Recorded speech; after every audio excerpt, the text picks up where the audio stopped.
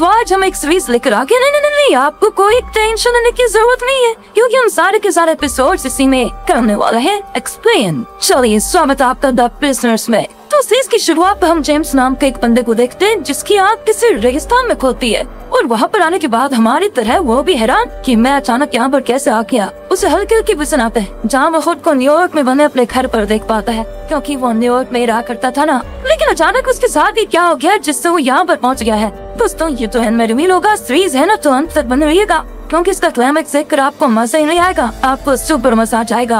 अब इससे पहले जेम्स कुछ सोच समझ पाता। उसे आसपास से गोलियाँ चलने की आवाज़ आती है। क्योंकि सामने मार्क नाम के एक बोर्ड आपने के पीछे कुछ लोग अपने कुत्तों के साथ पड़े हुए थे, ताकि उसे पकड़ पाए। इस गोलीबारी में यार मार्क को एक गोली भी रच जाती है। कैद हो जाता है बेचारा। लेकिन जेम्स भी हिम्मत दिखाकर मार्क को गुंडों से बचाते हुए एक गुफा के पास लेकर आता है। तब मार्क जेम्स से कहता है कि तुम यहाँ पर नए लगते हो। मेरे पास ज़्यादा समय नहीं है। तुम बस मेरा एक काम कर दो। तुम यहाँ से विलेज जाओ और वहाँ पर पाँच सौ चौवन नाम की लड़की से कहना कि मार यहाँ से भाग निकला। प्लीज़ इसे मत कहना कि मैं मर गया और वरना उसकी उम्मीद खत्म हो जाएगी। एंड इतना कह कर दोस्तों, वो आदमी अपना दम तोड़ देता है। एंड दोस्तों जेम्स जहाँ पर आया है, उस जगह का नाम विलेज है और यहाँ पर लोगों के नाम नंबर्स में होते हैं। इसलिए मार्क ने जेम्स को पाँच सौ चौवन नंबर की लड़की से मिलने के लिए कहा। लेकिन दोस्तों नंबर में आपको कंफ्यूजन हो सकती है। तो इस लड़की को चौवे का नाम देते हैं मैरी कैसा रहेगा बढ़िया है ना? चलिए। तो अब जेम्स पहले मार्क का वहीं पर क्रियाक्रम करता है, उसको वहाँ पर दफनाने के बाद वो विलेज के अंदर जाता है, जो कि एक छोटा सा शहर है। अब वहाँ आने के बाद वो एक टैक्सी में सवार होकर मैक्स नाम के ड्राइवर से कहता है, मुझे रेलवे स्टेशन ले चलो प्लीज़ मैक्स कहते हैं कि, साहब, कौन से स्टेशन की बात कर रहे हो? यहाँ पर कोई स्टेशन नहीं है। मैं तो लोकल ड्राइविंग ही करता हूँ। दोस्तों, ये सुनकर तो जेम की हालत खराब वो पूरी तरह हैरान हो जाता है कि आखिर ये मेरे साथ हो क्या रहा है। फिर वो उसकी टैक्सी से उतर कर एक क्लब में आता है, ताकि पता लगा सके कि ये जगह कौन सी है और यहाँ पर कोई रेलवे स्टेशन है या नहीं। और नहीं है तो क्यों नहीं है? लेकिन तभी उसे वहाँ वो गुंडे और उनके कुत्तों के भागने की आवाज़ आ जाती है दोस्तों। इसलिए जेम्स डर के मारे तुरंत वहाँ से भाग जाता है कि कहीं मार की तरह ये गुंडे मुझे बिना मार दे। वो छुपते छुपा दे तुरंत मैक्स के टैक्सी में आकर बैठ जाता है और उसे कहता है कि, यहाँ कोई मैरी है, मुझे उसके पास चलना है। मैरी दोस्तों बताए ना पाँच सौ चौवन नंबर इसलिए दोस्तों मैक्स जेम को मैरी के पास छोड़ देता है, जो कि एक वेट्रेस होती है। तब जेम्स उसे बताता है कि देखो, वो मार्क था ना, वो यहाँ से भाग निकला है। मैरी समझ जाती है कि जेम्स किसकी बात कर रहा है मतलब किस मार्क की बात कर रहा है। तो कहती, देखो, मार्क पाकर आदमी है, उसकी बातों में कभी मत आना और कभी दोबारा मुझसे मिलने की कोशिश भी मत करना। और मुझे नहीं पता, पर तुम्हारी वजह से मैं फंस जाऊँगी। तभी दोस्तों वहाँ पर फिर से वही गुंडे आ जाता है। इसलिए जेम्स तुरंत ही रेस्टोरेंट की छत पर आकर छुप जाता है। लेकिन तभी वहाँ पर एक बूढ़ा आदमी आता है जिसने व्हाइट कलर का सूट पहन रखा था। उसके हाथ में दोस्तों ग्रेनेड भी होता है। असल में दोस्तों, ये बूढ़ा आदमी इस पूरे विलेज का चीफ है। यही पूरे विलेज को चलाता भी है। और यहाँ पर चीफ जेम्स को सिक्स कैकेट पुकारता है, क्योंकि विलेज के अंदर जेम्स का नाम दोस्तों सिक्स है। और ये सुनकर जेम्स को फिर से न्यूयॉर्क की बसें आ जाता है, जिससे वो तुरंत बेहोश। अगले दिन की बात है जेम्स की आँख हॉस्पिटल में खुलती है, जहाँ सारो नाम की डॉक्टर उसका इलाज करती है। इलाज कराने के बाद जेम्स को चीफ के पास ले जाया जाता है, जहाँ जेम्स उससे कहता है की, आखिर तुम हो कौन? और मुझे यहाँ पर क्यों लाया गया है? देखो, मेरी तुमसे कोई दुश्मन नहीं है। मैं तो न्यूयॉर्क शहर का एक निवासी हूँ बस, और अपने घर जाना चाहता हूँ। इस पर चीफ चौंकते हुए कहता है कि न्यूयॉर्क ये ये कौन सी जगह है? मैंने तो कभी इस जगह का नाम नहीं सुना। और तुम तो ऐसे बिहेव कर रहे हो जैसे कि पहली बार यहाँ पर आए हो। दोस्तों, यहाँ चीफ जेम्स को उसकी आईडी भी रहता है, जो कि इसी बुलेज की थी। यानी कि जेम्स भी इसी बुलेज का एक मेंबर है ये इस आईडी से साबित हो जाता है। लेकिन जेम्स तो पूरी तरह हैरान है कि मैं यहाँ का निवासी कैसे हो सकता हूँ। लेकिन दोस्तों, उसे चीफ की बात पर यकीन ही नहीं होता। उसे ये सब कुछ फेक कर रहा था। सोचता है कि कहीं चीफ मुझे बेवकूफ़ बनाने की कोशिश तो नहीं कर रहा। अब दोस्तों, जेम्स को उसके घर भेज दिया जाता है, जो कि न्यूयॉर्क में नहीं, बल्कि एक विलेज वाला घर होता है। वो घर उसे बिल्कुल उसके न्यूयॉर्क वाले घर जैसा लग रहा था। इसके बाद जेम्स विलेज को एक्सप्लोर करने निकल जाता है, ताकि यहाँ के बारे में और अच्छे से जान पाए। तभी उसे शहर से दूर दो बहुत ही बड़े टावर दिखाई देता है। है ना, उसको देखकर जेम्स को लगता है कि शायद टावर तक अगर मैं पहुँच गया तो यहाँ से बाहर निकलने का रास्ता मिल जाएगा। इसीलिए दोस्तों मैक्स के टैक्सी चुरा टावर के पीछे चला जाता है। लेकिन वो टावर के जितना नज़दीक पहुँचने की कोशिश करता है, वो टावर उससे उतना ही दूर चला जा रहा था। अब इस चीज़ से जेम्स एकदम परेशान हो जाता है कि मैं कौन सी दुनिया में आ गया और वो वहीं पर बेहोश दोस्तों। तो भी सारा वहाँ पर आकर जेम्स को संभालती है और उसे वापस विलेज लेकर आती है। विलेज आने के बाद जेम्स मार्क के बारे में जानकारी इकट्ठा करने के लिए उसके घर जाता है। तब उसे वहाँ मार्क की बनाई हुई एक स्केच दिखाई देती है। इसमें लंदन की बिग बैन कड़ी बनी हुई थी दोस्तों। यानी कि मार्क भी विलेज का नहीं था, वो यहाँ से भाग कर लंदन ही जाना चाह रहा था। लेकिन उन गुंडों को पता चल गया तो उन्होंने उसे मार दिया। यही बात है। वो ये सारी चीज़ें सोच रहे होते हैं। तभी वहाँ पर चीफ आकर जेम्स से कहता है कि सुनो, तुम यहाँ मार के घर पर क्या कर रहे हो, है? जेम्स कहता है, देखो, मैं ये जानने की कोशिश कर रहा हूँ कि मैं इस बुलेट से न्यूयॉर्क वापस कैसे जा पाऊँगा। अरे, तुम पागल तो नहीं हो गए हो? तुम्हारी दुनिया, असली दुनिया ये विलेज है। इससे बाहर कुछ नहीं है तुम्हारा। जितनी जल्दी तुम्हें समझ लोगे तुम्हारा अच्छा होगा। इतना कहकर चीफ दोस्तों अपने बेटे एलेक्स के साथ वहाँ से चला जाता है। लेकिन जेम्स को बड़ी बेचैनी होती है कि मुझे पता करना है ये मेरे साथ क्या हो रहा है। तो वो मेरे से मिलना चाहता है और कहता है,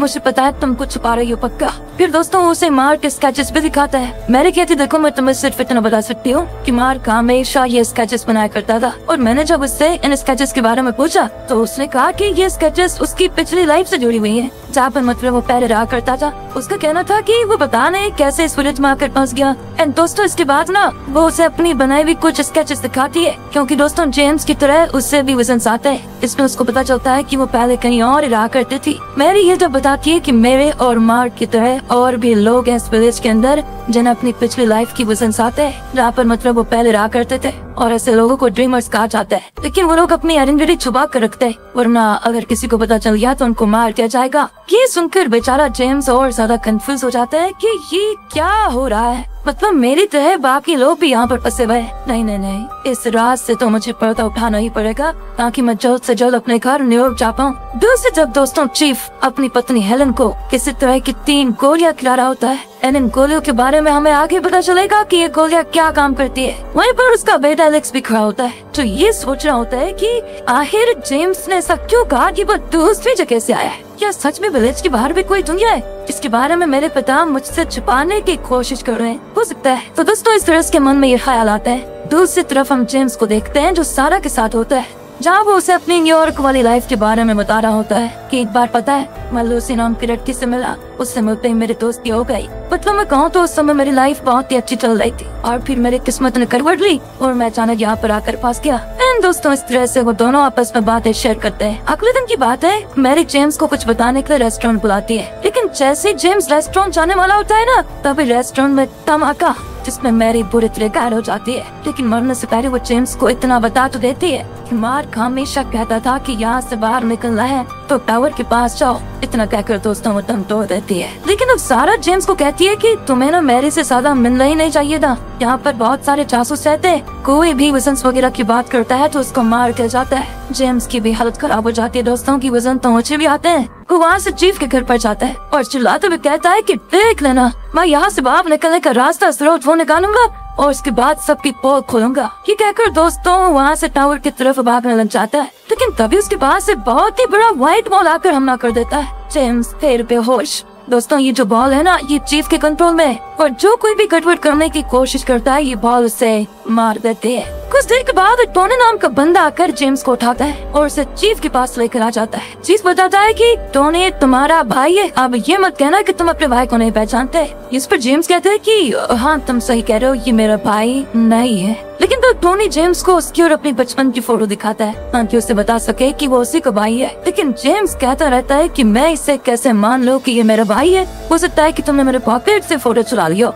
मुझे बताया कि तुम सब मिलकर मुझे मैनिपुलेट करने की कोशिश कर रहे हो, ताकि मैं ये मान लूँ कि इस विलेज का ही मैं मेंबर हूँ। देखो, चाहे कुछ भी हो जाए, मैं कभी भी तुम्हारे बहकावे में नहीं आऊँगा। लेकिन अब टोनी कहता है कि, अरे, आखिर तुम मुझे भूल कैसे सकते हो? कोई इंसान अपने भाई को कैसे भूल सकता है? मेरे हेल्थ समय कुछ साइकेट्रिक सेशन लेना चाहिए। क्या पता तुम्हें सब कुछ याद आ जाए एंड दोस्तों, इस पर जेम्स मान जाता है। अब एक साइकेट्रिस्ट जेम्स का सेशन लेता है। लेकिन जेम्स तो बस न्यूयॉर्क में हुए पलों को याद कर रहा होता है। जहाँ वो लूसी के साथ कमरे में होता है, उन दोनों की बातों से हमें ये भी पता चलता है दोस्तों कि जेम्स सुमोकर नाम की कंपनी में काम करता था, जहाँ पर उसका काम था लोगों पर नज़र रखना, उनके बारे में हर चीज़ जानने की कोशिश करना कि आखिर वो लोग क्या करते हैं, उनकी लाइफ में क्या चल रहा है। लेकिन ये काम वैसे जेम्स को पसंद नहीं था। इसलिए उसने अपनी कंपनी से रिजाइन दे दिया। उसी कंपनी में उससे भी काम करती थी। इसमें दोनों की दोस्ती हो गई और धीरे धीरे ये सब कुछ प्यार में बदल गया। इधर बीच में टोनी जेम्स को बस डिपो पे लेकर आ जाता है। चार टोनी का जो ड्राइवर है, वो जेम्स से कहता है कि तुम भी यहाँ के ड्राइवर हुआ करते थे पहले। हमारा काम था लोगों को पूरे विलेज का टूर करवाना।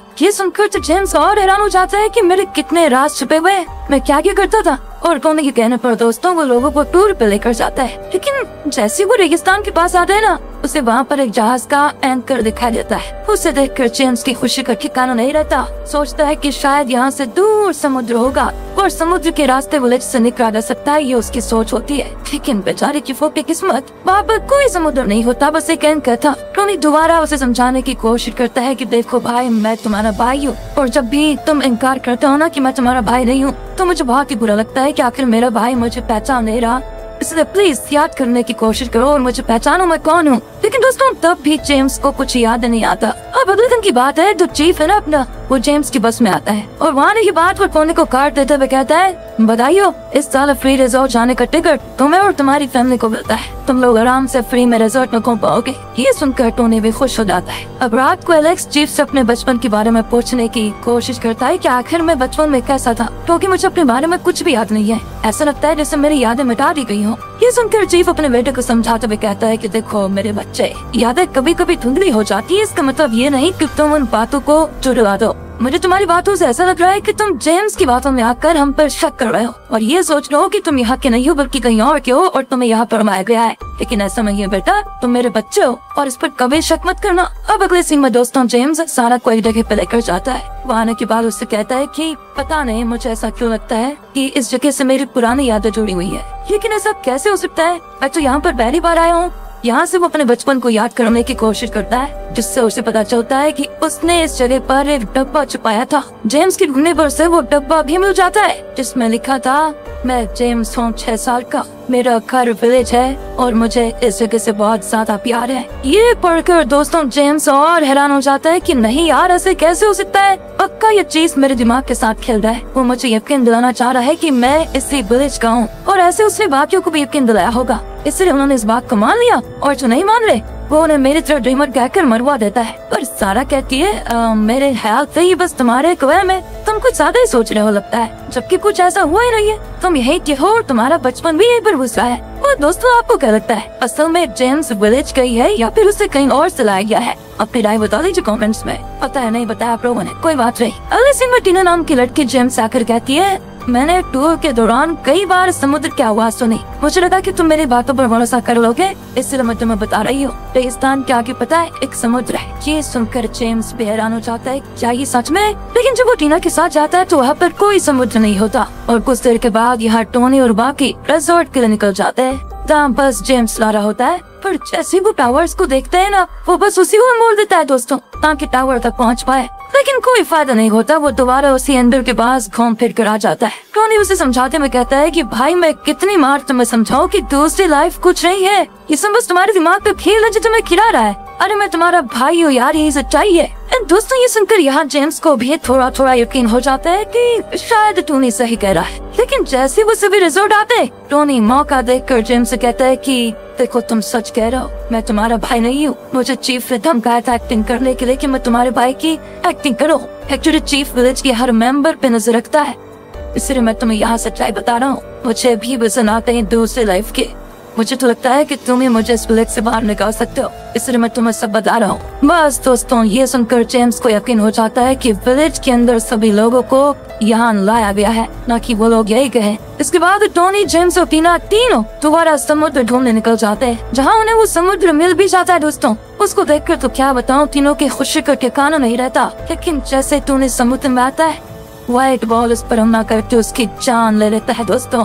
ये देखकर जेम्स को बहुत बुरा लगता है कि उसके दोस्त की मृत्यु हो गई, क्योंकि बताया आपको, इसी तरह से बचपन में उसका भाई डूब कर मर गया था। अगले सीन में विलियम नाम का अंडरकवर जासूस जेम्स को चीफ के पास लेकर आता है, जहाँ चीफ जेम्स ऐसी कहता है की, देखो मेरे पास तुम्हारे लिए काम है, बहुत बढ़िया काम। जहाँ तक मुझे पता चला है, तुम ऐसे लोगों को ढूंढ रहे हो, जिन्हें वज़न आते हैं। तो मैं यही काम तुम्हें देना चाहता हूँ? तुम्हें विलियम के साथ रहकर ऐसे लोगों पर नज़र रखनी, जिन्हें वज़न आते हैं? उनका सारा डेटा लाकर मुझे देना है कि उनके वज़न कैसे आते हैं और वो किस तरह के काम कर रहे हैं। तो मैं किस पर नज़र रखनी है, उसके बारे में मैं तुम्हें बताऊँगा।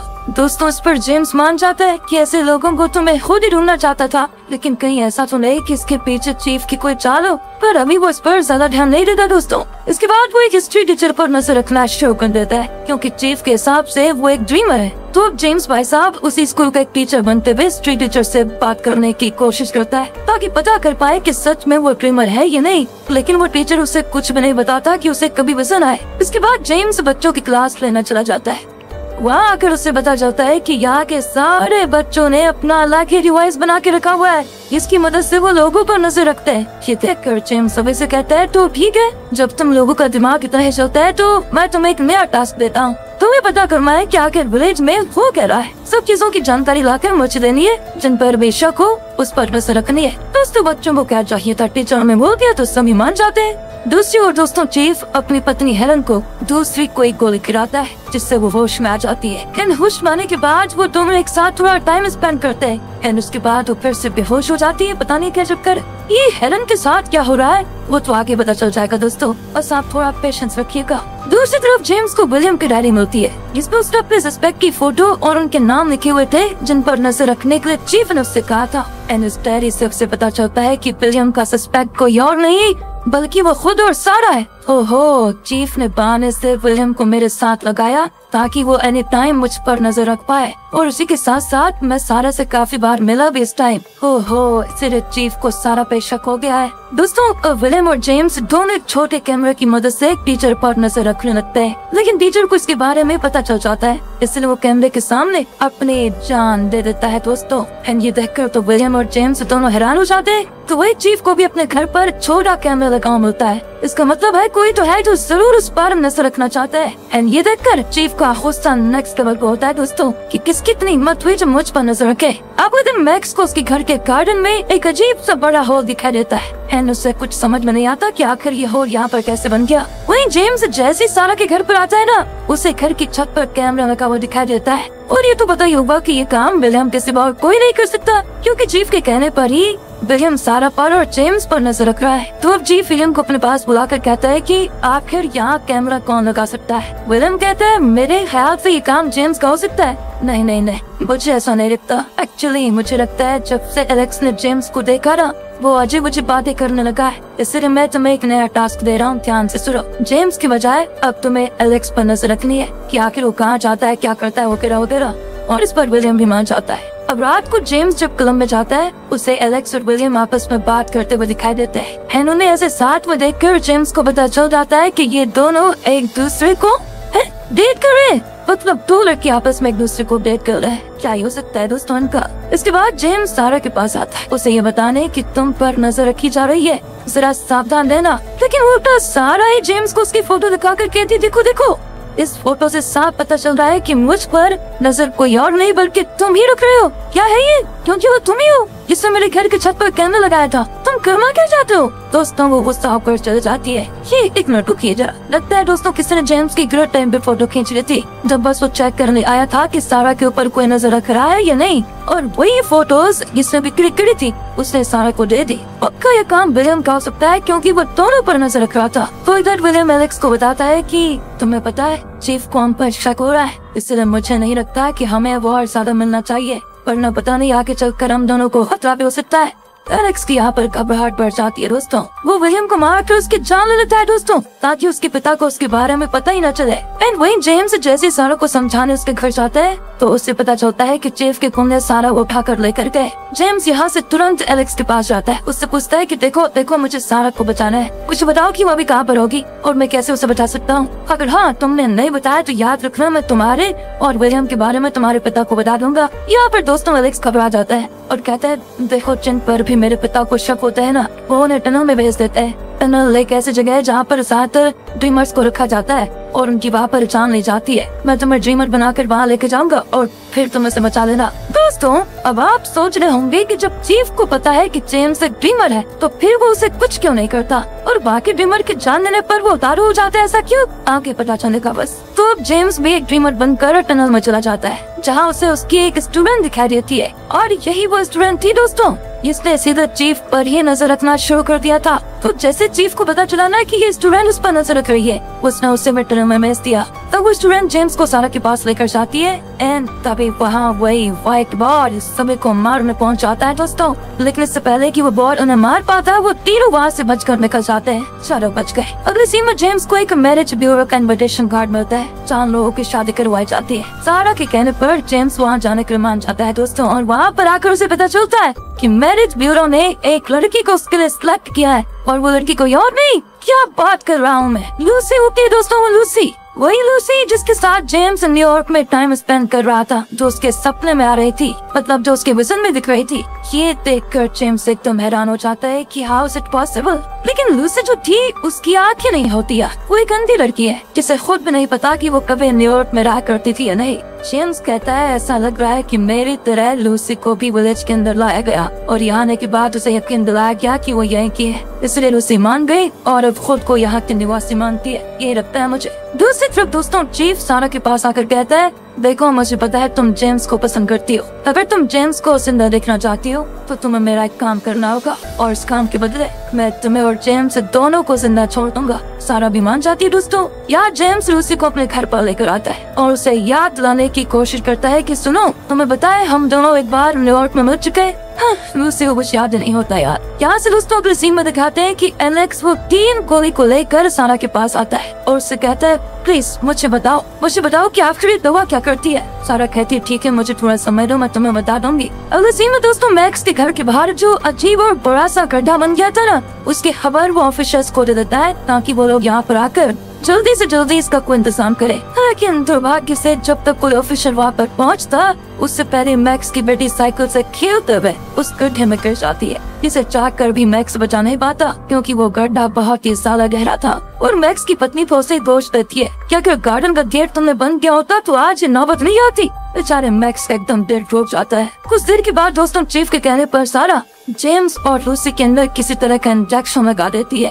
दोस्तों, ये इस तरह का इंजेक्शन है कि दो इंसान के अंदर लगाया जाए तो इससे वो दोनों एक दूसरे को पसंद करने लगेंगे। और यही तो जीव चाहता था कि जेम्स लूसी को पसंद करने लगे, क्योंकि उसके बाद वो यहाँ से जाने के बारे में सोचेंगे ही नहीं। तो आगे दिखाते हैं कि सारा एलेक्स के पास आकर उसे उन तीन गोलियों के बारे में बताती है कि एक गोली बेहोश कर देने वाली है, दूसरी हॉलुसिनेशंस देने वाली। और तीसरे माइंड को कंट्रोल करने वाली। बस दोस्तों, ये सुनकर एलेक्स हैरान हो जाता है कि आखिर उसके पिता, उसकी माँ को ये दवा क्यों दे रहे हैं? तो यहाँ इंजेक्शन लगने के बाद होता यह है कि जेम्स रूसी को बहुत ज़्यादा पसंद करने लग जाता है। वो एनी टाइम अब लूसी के साथ रहने लग जाता है। लेकिन ये चीज़ सारा को बिल्कुल अच्छी नहीं लगती, क्योंकि वो नहीं चाहती थी कि जेम्स लूसी के साथ रहे। इसीलिए इस बार वो दूसरा इंजेक्शन चीफ से छुपा कर जेम्स को लगा देती है, ताकि पुराने वाले इंजेक्शन का असर खत्म हो जाए। लेकिन दोस्तों, उसे खत्म होने के लिए कुछ टाइम तो लगेगा ही। एंड अगले दिन की बात है। चीफ जेम्स और लूसी की शादी करवाना होता है ताकि जेम्स खुद को हमेशा के लिए विलेज का मान कर लूसी के साथ अपना जीवन यहीं पर गुजारे। लेकिन तभी सारा आकर जेम्स को बता देती है कि पता है मैं तुम्हें पसंद करती हूँ। बस सोचता हूँ ये सुनकर लूसी को बहुत बुरा लगता है और वो उदास होकर वहाँ से चले जाती है। और जब जेम्स उसके पीछे जाता है, तब वो रिवील करती है कि हाँ मैं लूसी ही हूँ। न्यूयॉर्क वाले पर चीफ की मुझे से यहाँ पर यह नाटक करना पड़ा। मुझे यहाँ पर चीफ ने इसलिए बुलाया, ताकि मैं तुम्हें यहीं पर रहने पर मजबूर कर पाऊँ। मुझे माफ़ कर देना। पर चीफ की बातों में आकर तुम्हें धोखा दे रही थी। और इतना कहकर वो गर्द के मारे वही बने गड्ढे के अंदर कूद कर अपनी जान दे देती है। वहीं मैक्स खड़ा था जो खुद पे जान देने के इरादे से वहाँ पर आया था, क्योंकि अपने बेटे को खोने के बाद वो बहुत ही परेशान था डिप्रेशन में चला गया था। और जेम्स उसे समझाता है कि देखो देखो, जान देने से कुछ नहीं होगा। मेरी बात मानो, खुद को संभालो। हम ज़रूर कोई दूसरा रास्ता निकालेंगे। तो मैक्स की अकड़ ठिकाने आती है, वो मान जाता है। कुछ देर के बाद जेम्स चीफ के घर पर आता और कहता है, सुनो, तुमने लूसी को मजबूर किया था ना अपनी जान देने पर? उसकी हत्या के आरोप तुम वो समझ गए?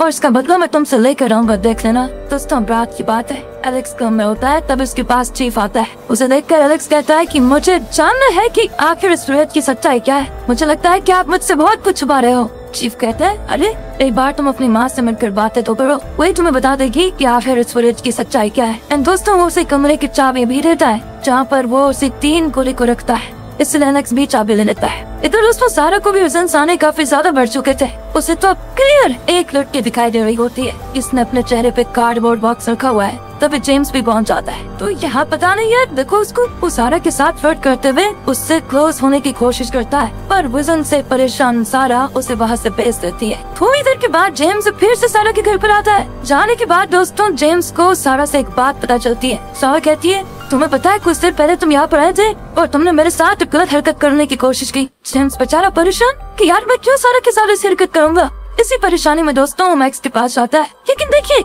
यहाँ पर मैक्स उससे बुरा नाराज़ होता है। कहता है कि अभी तुम्हारा झगड़ा हुआ था, तुम फिर से यहाँ पर आके झगड़ा करने के लिए। ओहो, ये क्या हो रहा है? जेम्स को कुछ समझ में नहीं आ रहा था कि ये सभी लोग क्या कह रहे हैं। तब दोस्तों, उसे अपने सामने एक और जेम्स दिखाई देता है। इसीलिए वो उसका पीछा करना शुरू करता है, जहाँ दोनों के बीच वहाँ लड़ाई भी होती है। और इस लड़ाई के दौरान हो रही बातों से हमें पता चलता है कि दोस्तों, ये दोनों जेम्स एक ही है। एक तो नॉर्मल जेम्स, जिसे हमने शुरू से देखा, और दूसरा जेम्स वो इसने सारा के साथ गलत हरकत करने की कोशिश की। तो असल में दूसरा जेम्स, रियल जेम्स की दोस्तों इमेजिनेशन है। जो जो चीज़ असली जेम्स नहीं कर पा रहा था, वो उसका इमेजिनरी जेम्स कर रहा था। और ये इमेजिनरी जेम्स का मेन टारगेट बताया क्या है? चीफ को मारना। लेकिन दोस्तों, असली जेम्स को समझ नहीं आता कि एक तो मैं विलेज की मिस्ट्री सोचा नहीं पा रहा, और अभी इमेजिनरी जेम्स कहाँ से आ गया?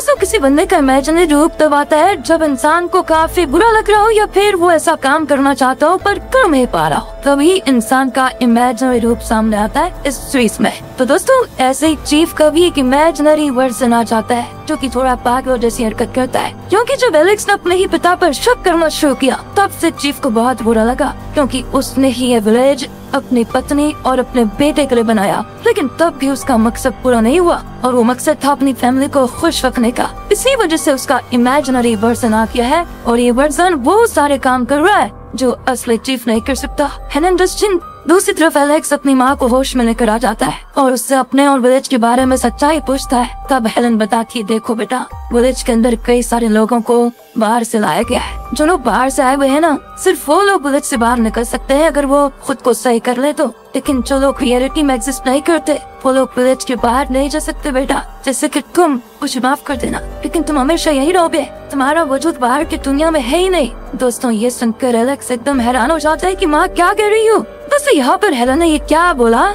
चलिए आपको बताता हूँ थोड़ी देर में। लेकिन उससे पहले आकर देखिए। अगले सीन में इमेजिनरी चीफ चर्च में बैठा होता है, तभी वहाँ पर जेम्स आता है। तब जेफ उसे बताता है कि मैंने ही इस विलेज को बनाया, ताकि मैं दुनिया के लोगों को सही कर पाऊँ। जो ज़िंदगी वो चाहते हैं, उन्हें वैसे ही ज़िंदगी दे पाऊँ। लेकिन शायद मैं इस काम में सफल नहीं हो पाया। दूसरों को अच्छी ज़िंदगी क्या दूँगा? मैं खुद ही मतलब मेरी ज़िंदगी खुद ही ठीक नहीं है। और अब तुम चाहो तो तुम मुझे मार सकते हो, क्योंकि इंसान की फितरत ही यही है। हर इंसान के अंदर कोई न कोई जानवर छुपा होता है। लेकिन दोस्तों, तब इमेजिनरी जेम्स ये सुनते ही चीफ को मारने की कोशिश करता है लेकिन असली जेम्स वहाँ पर आकर इमेजिनरी को रोक लेता है। वो उसे कहता है कि मुझे बताया तुम मेरे दिमाग के बनाए हुए एक रूप हो। तो चीज़ मैं करना चाहता हूँ, लेकिन कर नहीं सकता। वो तुम कर रहे हो। लेकिन मेरे पास सुनो। हम इस तरह से चीफ को नहीं हरा सकते। हमें एक होकर काम करना पड़ेगा, तभी जाकर हम चीफ को हरा पाएँगे और उसके बाद इस वृत से बाहर निकल पाएँगे। यही एक रास्ता है। तो दोस्तों, ये सुनकर इमेजिनरी जेम्स गायब हो जाता है और वह दोनों अब एक हो जाते हैं। उसी के साथ साथ चीफ का भी इमेजिनरी वर्सन गायब हो जाता है, क्योंकि उसने अपने इमोशंस पे काबू पा लिया था। एक्चुअली ये इमेजिनरी वर्जन सिर्फ़ दिमाग के इमोशंस होते हैं दोस्तों, जो चीफ और जेम्स को दिखाई दे रहे थे। अगर वो अपने इमोशंस पे काबू पा ले तो उनके इमेजिनरी वर्सन गायब हो जाएँगे। जैसे की अभी उनके साथ हुआ, क्योंकि उन्होंने अपने इमोशंस पे कंट्रोल कर लिया। दोस्तों, आपको ये कंफ्यूज तो नहीं कर रही सारी चीज़ें? कोई बात नहीं, बन रही है बस आपको सब समझ में आने वाला है। अब हम न्यूयॉर्क का सीन देखते हैं, दोस्तों। असल में न्यूयॉर्क वाला सीन ही रियलिटी है। और ये पूरा विलेज बस लोगों के दिमाग का रचा हुआ खेल है। लेकिन ऐसे कैसे? अभी आपको पता चलने वाला है। तो न्यूयॉर्क में जेम्स कंट्रोल रूम में आता है। वहाँ आने के बाद उसे काफ़ी सारे कंप्यूटर दिखाई देते हैं। इन सभी के ऊपर उन्हीं लोगों की वीडियो चल रही थी, जो लोग अभी विलेज के अंदर मौजूद हैं दोस्तों। अब उन सभी को देखकर जेम्स को पता चलता है कि ये तो वही लोग हैं, जिनके ऊपर मैं सुमो कोर्ट के अंदर मज़े रखा करता था। इसका मतलब विलेज के अंदर जो भी एक्सपेरिमेंट हो रहा है उस एक्सपेरिमेंट के लिए लोगों को मैंने चला था। दोस्तों इन सब चीज़ों से जेम्स बहुत ज़्यादा कंफ्यूज हो जाता है कि आखिर मेरे साथ ही क्या हो रहा है? दरअसल दोस्तों जेम्स एक ही समय में दो टाइम लाइन को जी रहा है। एक है विलेज वाली, दूसरी न्यूयॉर्क वाली। और जब दोनों आपस में टकराते हैं, तभी जेम्स को विजन आते हैं। और अब आ जाइए मैक्स की तरफ़, जो कि रियलिटी में चीफ का ड्राइवर है।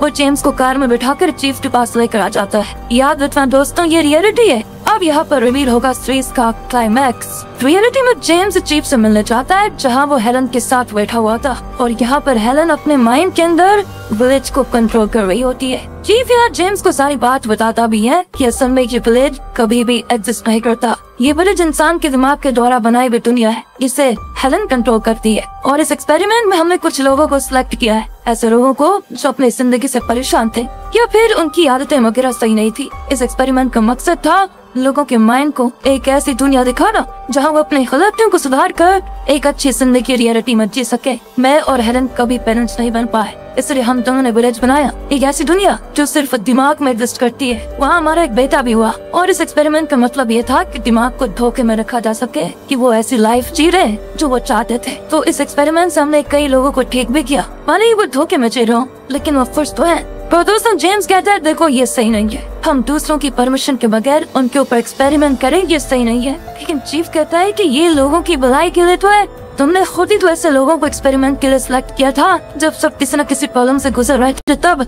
लेकिन एक्सपेरिमेंट पूरा होने के बाद वो ठीक भी तो हो सकते हैं। दोस्तों, मुझे बताए, सब कुछ आकर आपके सर पे गिर गया होगा। इंटरनेट पर भी इसके बारे में उतनी जानकारी नहीं दी गई है। लेकिन मैं अपना छोटा सा दिमाग लगाकर आपको थोड़ा बहुत समझाने की कोशिश करता हूँ। तो दोस्तों, चीफ ने हेलन के साथ मिलकर एक एक्सपेरिमेंट बनाया ओके इस एक्सपेरिमेंट में इंसान के दिमाग को दो लाइफ दिखानी है। एक तो वो, जो जीते हुए आ रहा है। लेकिन अगर वो अपनी असली लाइफ में कुछ गड़बड़ करता है, या फिर उसे कुछ ऐसी चीज़ चाहिए जो उसे मिल नहीं पा रही है तब यहाँ पर ये एक्सपेरिमेंट काम आता है। एक्सपेरिमेंट में इंसान के दिमाग को विलेज वाली दुनिया में डाल दिया जाता है। यानी कि इंसान विलेज वाली दुनिया में एक और लाइफ जीता है। उस लाइफ में वो उन सभी चीज़ों को सुधार सकता है, जो उससे रियलिटी में खराब हुई हो, या फिर वो उन चीज़ों को हासिल कर सकता है, जो रियलिटी में वो हासिल नहीं कर पाया। जैसे कि हिरन कभी माँ नहीं बन सकती थी, लेकिन विलेज के अंदर वो एक बच्चे की माँ है। उसे विलेज के अंदर एक ऐसी लाइफ गुजारने का मौका मिला जो वो रियलिटी में नहीं चाहती थी। यानी कि दोस्तों हेलन ने जो एलेक्स से कहा कि तुम विलेज से कभी बाहर नहीं जा सकते, वो इसीलिए, क्योंकि एलेक्स तो रियलिटी में एक्सिस्ट करता ही नहीं। तो बस दोस्तों, ये हेलन और चीफ के दिमाग का खेल था। लेकिन विलेज वाली लाइफ को भी चीफ और हेलन ठीक तरह से संभाल नहीं पाए, क्योंकि वो चाहते थे कि उनका एक अच्छा परिवार हो और वहाँ हंसे खुशी रहे।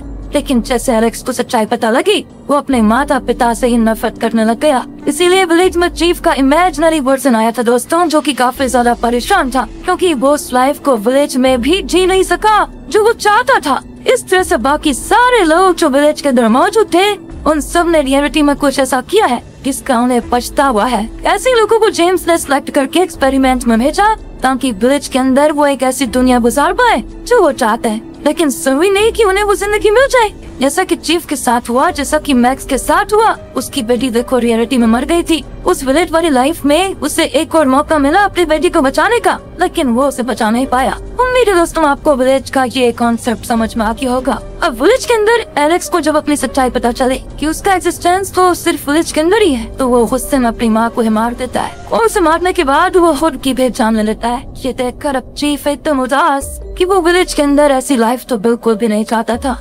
इसी तरह से जैसे ही हेलन मरती है ना दोस्तों, उसके मरते ही विलेज के अंदर और गड्ढे बनने शुरू हो जाते हैं। क्योंकि विलेज को हेलन और चीफ ही चला रहे थे। अगर वो उसे ठीक तरह से नहीं चला पाएँगे तो विलेज तो खत्म हो जाएगा। इसीलिए चीफ मैक्स के पास आकर कहता है, देखो, मैंने डिसाइड किया है कि मैं विलेज की ज़िम्मेदारी जेम्स को सौंप दूँगा। क्योंकि उससे बेहतर इस विलेज को और यहाँ के लोगों को वो नहीं संभाल सकता। क्योंकि मुझे नहीं लगता कि मेरे बेटे और पत्नी के मरने के बाद मैं और ज़्यादा टाइम तक ज़िंदा रह पाऊँगा इस विलेज में। तुम बस मेरा साथ देना उस टाइम जब मैं अनाउंस कर रहा हूँ कि आज से विलेज का अगला चीफ जेम्स है। तो दोस्तों मैक्स भी मान जाता है। वही विलेज में जेम्स की हालत बहुत ही खराब होती है, क्योंकि रियलिटी में जेम्स विलेज को सही नहीं मानता है। उसके ख्याल से लोगों के दिमाग से खेलना बिल्कुल भी सही नहीं है। अगर वो विलेज को सही मानते हुए एक्सेप्ट कर लेना तो उसकी हालत विलेज में बिल्कुल सही होने लग जाएगी। और चीफ हमेशा से यही चाहता था कि जेम्स एक्सेप्ट कर ले कि वो विलेज का ही मेंबर है। क्योंकि चीफ को पता था कि उसका फैमिली को लेकर चलने का प्लान बर्बाद भी हो सकता है। उसके बाद विलेज को संभालने वाला कोई नहीं होगा। इसीलिए चीफ ने बहुत अब कोशिश की कि वो जेम्स को एक्सेप्ट करवा ले कि वो विलेज का ही मेंबर है। दरअसल दोस्तों, जो एक्सेप्ट कर लेता है कि वो विलेज का मेंबर है, उसे विजन्स नहीं आते। लेकिन कई ड्रीमर्स एक्सेप्ट करने को तैयार नहीं होते कि वो विलेज के मेंबर है। इसलिए उन्हें विजन्स आते थे। और कहीं वो विलेज की सच्चाई न जान ले, चीफ उन्हें मार दिया करता था। क्योंकि वो नहीं चाहता था कि लोग विलेज की सच्चाई जानकर घबरा जाए कि ये उनके साथ एक्सपेरिमेंट हो रहा है। अब न्यूयॉर्क में चीफ जेम्स को सारा से मिलवाता है, जो कि बचपन के ट्रॉमा से डिप्रेशन का शिकार हो गई थी। इसलिए वो पागल जैसी हरकत करती है। यही सारा का विजन भी था कि वो विलेज में खुद को कार्डबोर्ड बॉक्स के अंदर देखती थी। चीफ ऑफ़ जेम्स कहता है कि सारा को ठीक करने का बस एक ही तरीका है और वो है विलेज तुम्हें सारा को विलेज के अंदर खुश रखना होगा। उस वजह से वो अपने आप रियलिटी में सही हो जाएगी। और मर्ज़ी तुम्हारी है कि तुम सारा को ठीक करना चाहते हो या नहीं। अगर तुम चाहते हो तो मैं विलेज की पूरी ज़िम्मेदारी तुम्हें देता हूँ। साथ ही सारा को भी हेलन की जगह दे दूँगा, ताकि वो विलेज को कंट्रोल कर पाए। दोस्तों, वही विलेज में चीफ सभी से कह देता है कि विलेज बर्बाद हो रहा है। उसे सिर्फ़ एक इंसान ठीक कर सकता है और वो है जेम्स इसलिए सभी कहना चाहते हैं कि जेम्स को अगला चीफ बना दिया जाए, ताकि विलेज ठीक रहे।